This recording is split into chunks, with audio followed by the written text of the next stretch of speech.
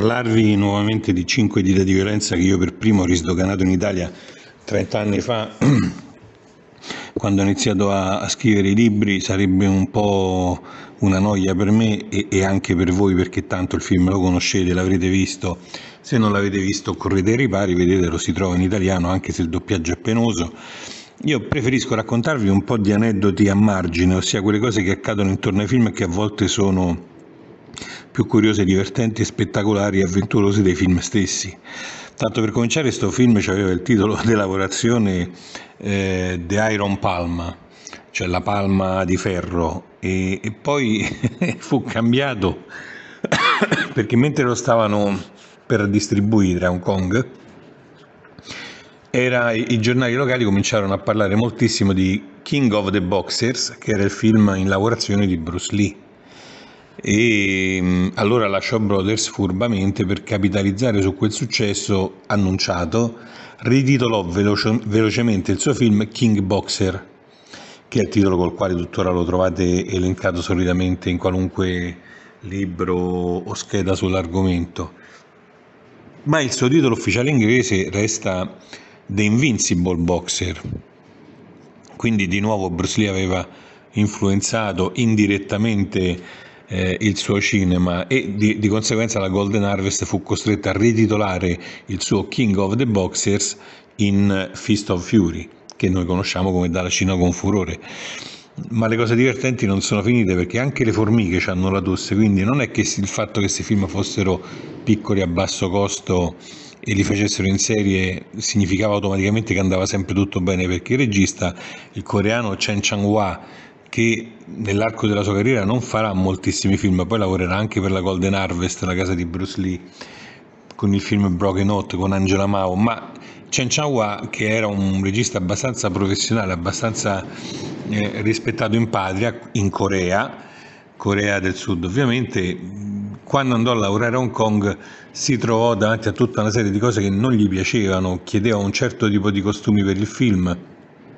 e invece loro gli facevano avere i costumi di scarto di altri film che stavano già girando. Chiese il miglior maestro d'armi, che era il leggendario Liu Xiaoliang, Lao Carleong, e invece loro gli, gli diedero gli assistenti perché Liu Xiaoliang era impegnato su un film molto più importante di questo e in effetti molto più bello che era Il drago si scatena, Boxer from Shantung, quindi gli diedero il fratello di Liu Xiaoliang, Liu Xiaowing e Chan Chuen, che tra l'altro stanno anche nel film come combattenti, che erano bravi, bravissimi, ma certo non erano gli ucciaglianghi. Insomma, alla fine il regista scrisse una bella lettera che in sostanza tradotta dal cantonese e dal coreano significava caro show vattene a fanculo due e tre quarti della casa di produzione tua io me ne torno in Corea cioè minacciò di lasciare il set Mona Fong intervenne Mona Fong era la braccia destra di Ran Ran Show la vera artefice quella che teneva i contatti con con, con le varie truppe e mm, che poi diventerà anche la, la, la seconda moglie di, di Shaw. E insomma lo rabbonirono, trovarono un punto di incontro e lui finì il film che rischiò di non essere finito perché non fosse stato finito poi probabilmente sarebbe cambiata la storia del cinema d'arti marziali già che non sarebbe mai uscito in Occidente, non avrebbe mai avuto il successo che ebbe qui in Italia prima e in America poi, qui uscì in gennaio in America in febbraio e di conseguenza forse l'ondata del Kung Fu non ci sarebbe stata o ci sarebbe magari stata con un altro film, non lo so, ma insomma nessuno, nessuno può saperlo. Altre curiosità a margine?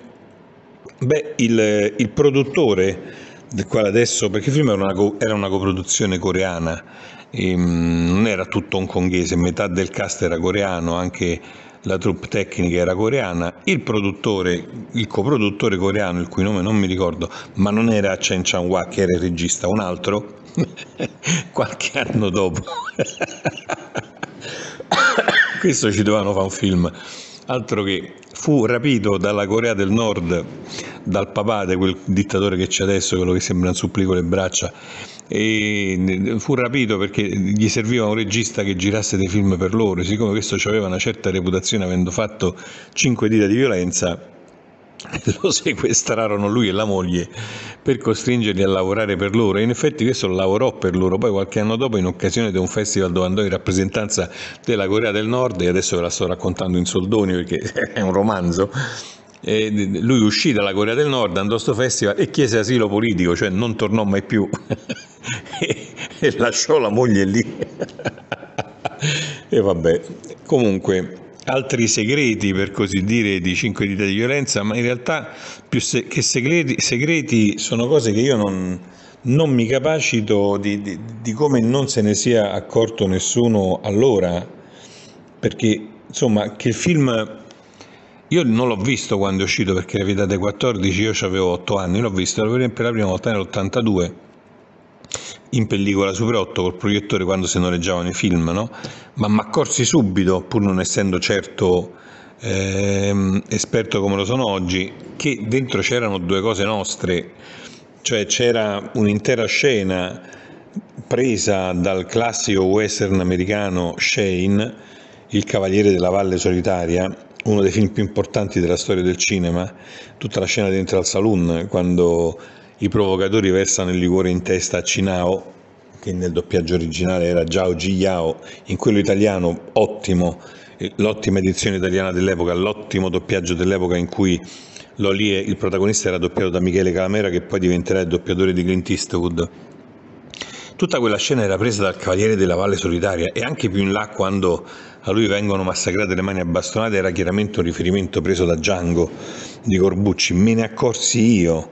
che non ero nessuno e lo scrissi poi nei libri nei, nei primi anni 90 e diciamo da quel momento in poi piano piano piano piano diventò di dominio comune qui in Italia, tant'è che oggi trovate anche in rete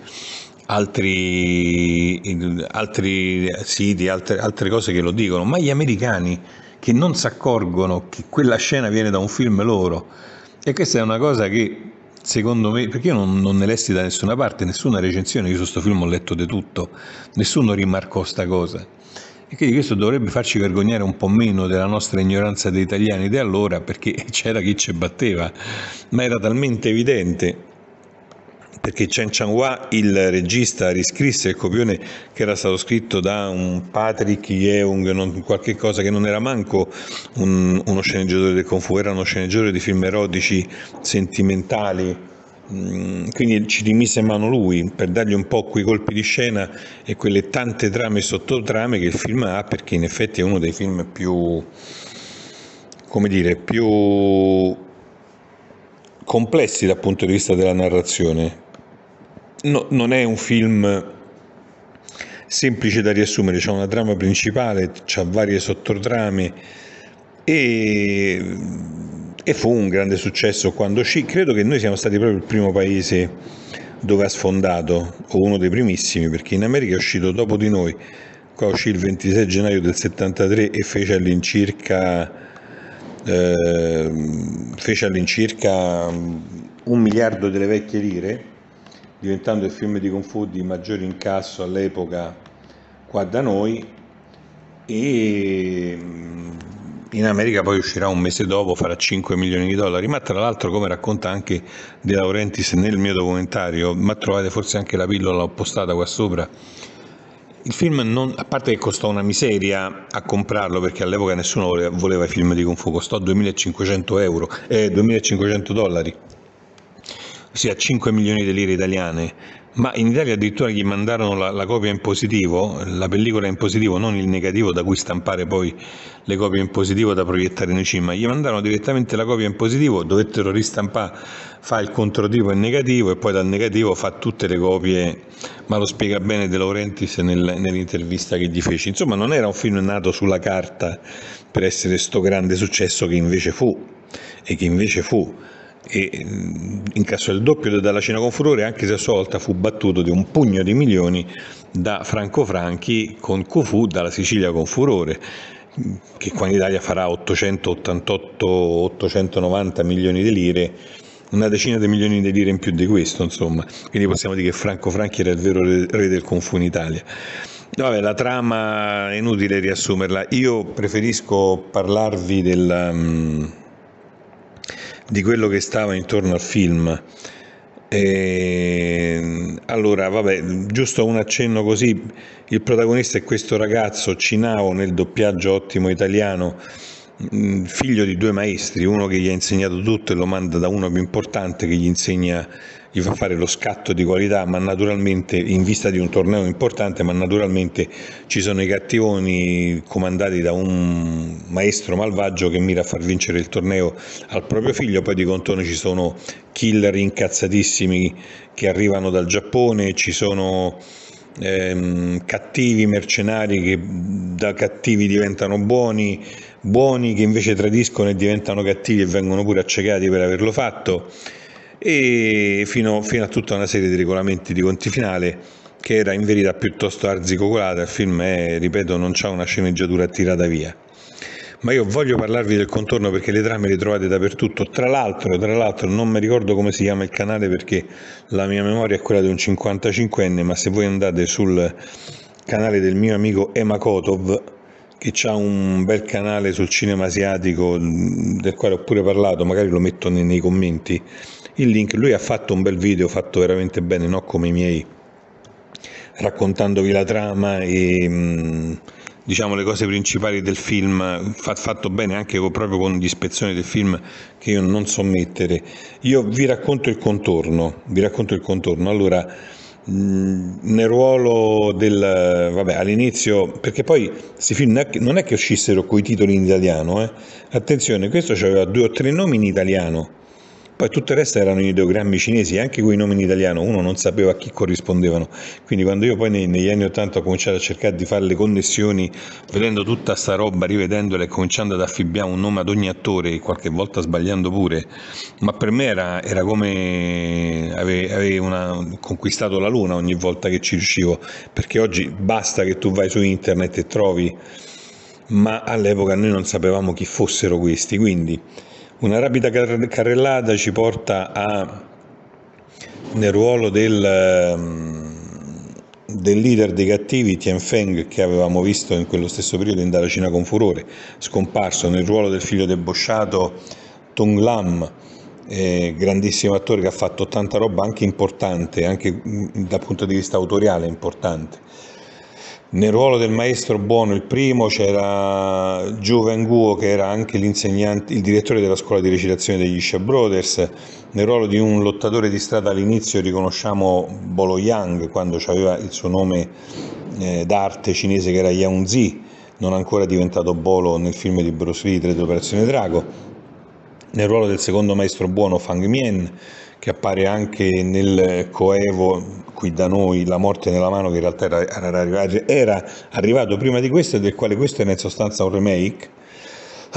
nel ruolo del mercenario giapponese il samurai Chao Seung che stava pure lui in La morte nella mano.